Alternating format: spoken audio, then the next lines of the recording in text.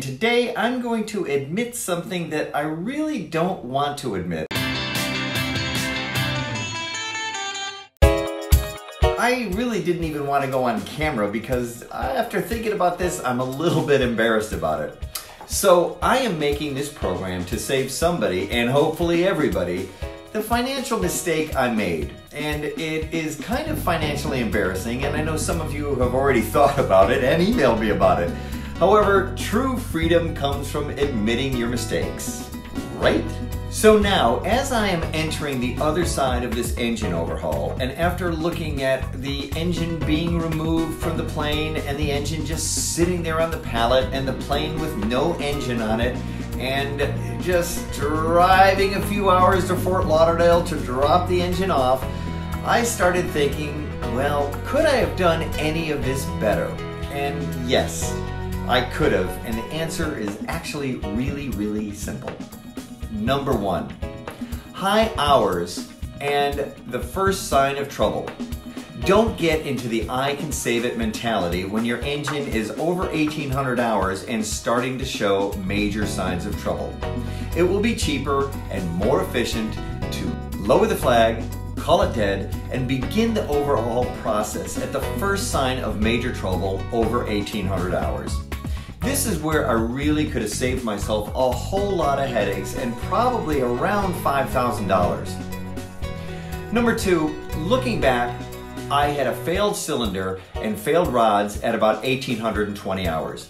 I should have pulled the plug right then and I should have replaced the engine right then.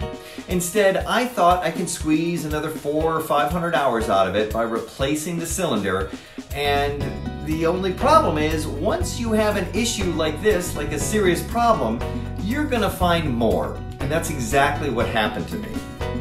I had a three hour drive to add up all the mistakes and kind of overthink and think through this process, and really, this is the conclusion I came to.